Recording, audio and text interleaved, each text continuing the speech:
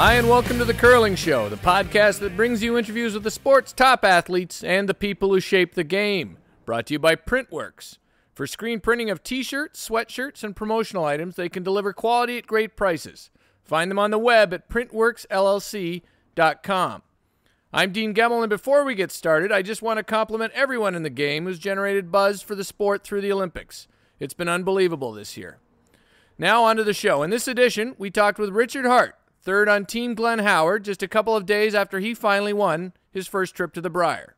Well, thanks for being on the show, Rich. I know your team has had quite a schedule for the last couple weeks, so I really appreciate your time. I want to start, you know, it was a bit ugly, but you finally got that Ontario title. After you gave that five up lead back in the final, did you start to wonder if the Brier was something that just wasn't meant to be for you? Yeah, absolutely. I think, yeah, by the sixth end, definitely had that feeling that uh, wasn't really meant to be. Actually, Glenn made a great shot in the sixth. If he, uh, happens to rub a guard there. It looked like we might have quit early. We would have got beaten maybe eight ends. It could have been a steal of four. So uh, he made a big shot there to keep the game rolling, and then things turned again for us, and uh, ended up winning it easily in the end. So. You know, you've got quite a resume with, uh, you know, you've been in the Olympics with Mike Harris. You've been in 10 provincial finals. You won a ton of money. Um, or provincial championships. This was your third provincial final in a row in Ontario. But how grating was it to you that you hadn't played in a Brier yet? You know what? I, I think uh, definitely. I don't know whether how many more years I have in me. I don't know how many how many more times I could keep going back there and, and fighting so hard after so many close calls. I mean, been to ten provincial, and out of those ten, I was in five finals and a couple of semifinals, and uh, and and I just uh, yeah, it, it was becoming draining, and uh, it's definitely a relief to to finally you know get the the breakthrough game, and and uh, hopefully we'll make the best of it. Hey, you guys really played quite a schedule since the start of January. You went out to Winnipeg for the BDO Canadian Open. Yeah. Uh, that meant you had to go through the challenge round to qualify for your provincial championship. Yeah. You also went out to Kamloops to play the Canada Cup, lost in the final, and got on a plane to get back to Ontario for the start of your provincial championships. When did you guys plan this madness?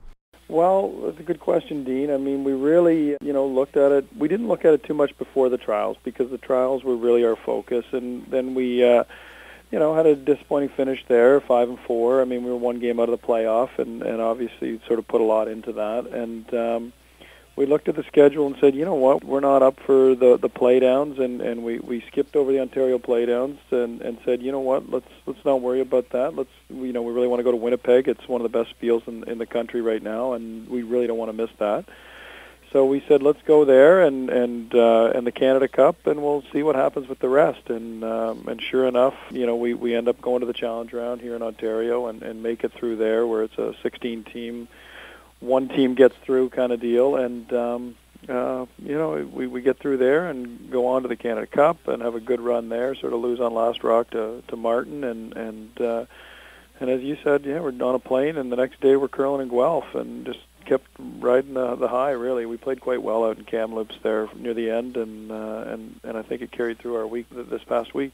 When did it start to turn around for you guys? In the challenge round or out at the Canada Cup? You know, in Winnipeg, you guys looked flat. Was that just post trials hangover, or there was a rumor that Glenn had a snowmobile injury? Or well, there was that too. Glenn wasn't feeling great. He did have a bit of a fractured rib, and and it was definitely probably a factor. You know, I don't think he was 100 percent.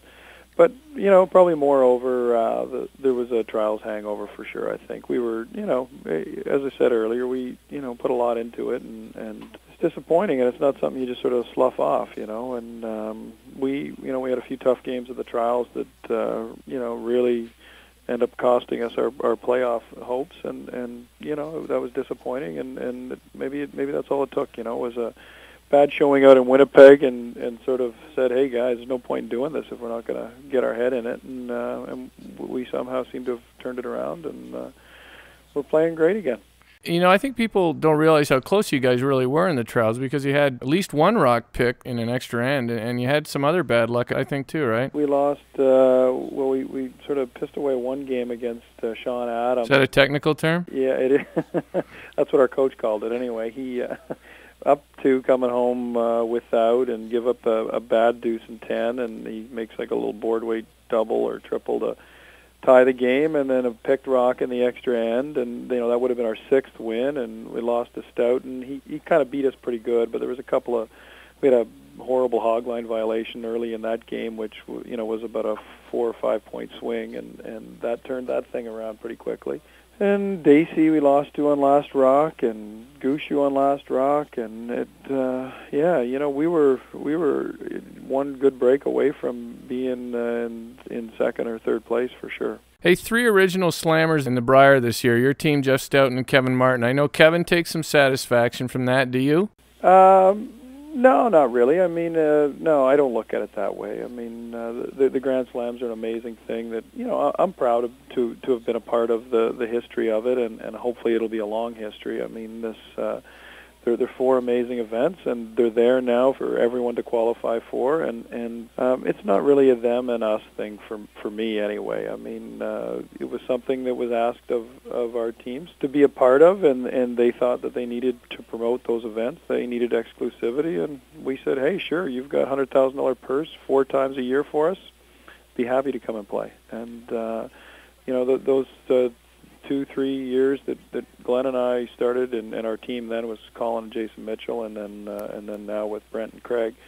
You know, we, you know, Glenn learned how to skip at those things. We were playing against the best teams in the world there, and and without the Grand Slams, you know, you know, Glenn wouldn't be the skip he is today, and and likewise for me at third. They were a great, uh, great way for the two of us to to really pick up our game and and take it to, uh, you know, the level it's at now. So no, it's not. It's not like that at all. I don't see it that way. Yeah, I know it's not an us versus them thing anymore, and that's really not the way it should be. But I think the teams that did, you know, did go for the slam participation took some heat that was probably unfair in hindsight. So you know, I don't know. I, I don't. I don't think you guys should should. Uh, I think you should feel good about having a group of you back at the Brier. But well, I'm glad to hear you. You know, you say that it, it was unfair. Absolutely. You know, we. Uh, you know, we gained from it. We got to play for big purses, and and you know, uh, we obviously. I mean, the the Brier is a is an amazing event, and I'm looking forward to you know going to my first one and and seeing what it's all about. Um, but you know, in the slams, they're going to be a great thing too. Hopefully for years to come, as I say, because uh, they they seem to be growing and and they're a lot of fun to play in, and I I hope that uh, many Canadian curlers get a chance to because uh, I'll tell you, we we sure do love them. That's for sure. Hey, have you watched any of the Olympic curling so far? Uh, I've seen a little bit of it. The ice looks real straight, Dean, and uh, that's got to be a disadvantage to both Canadian teams. Uh, I don't know if that's by design or what, but um, I don't know how that can happen. You know, I know Theo Franz, who actually did the ice in '98 as well for us when we were there. It, it was, I guess, fairly straight, but I don't remember it being that straight.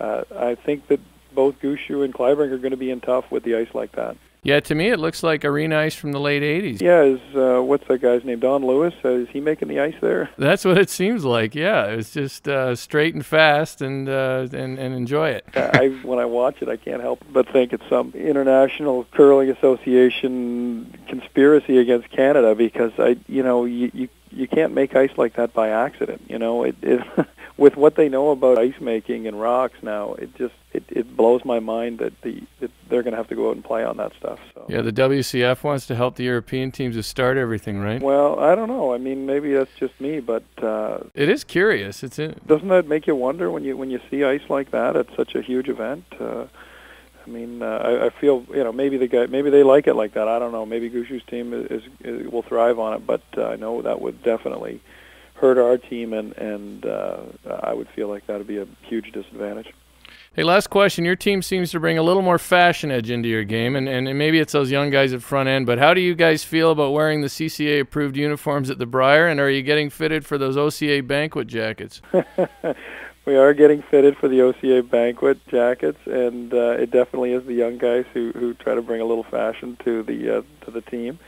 You know those white belts that they've uh, made so famous. Actually, uh, Craig bought me one for Christmas, so it was a gift. So I feel obligated to uh, to wear it sometimes. but uh, man, they're a lot of fun. Those two guys to play with, and uh, as you've probably seen, fantastic players as well. All right, we're going to end with the run back segment. That's where I give you a topic and you give me your thoughts in one to three words.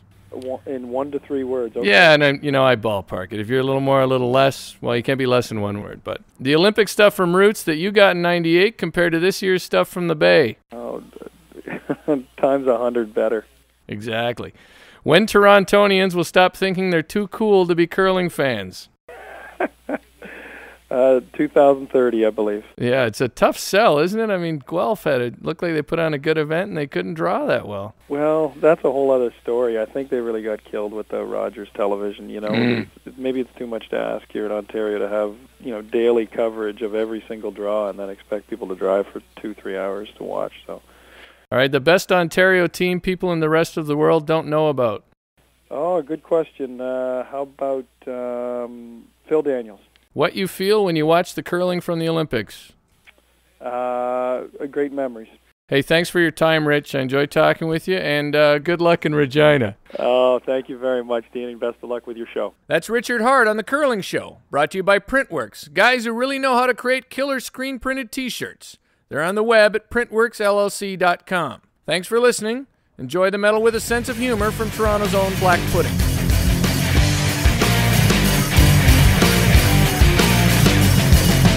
Saul Platt screaming, Jim beaming, no two grains of sand are alike.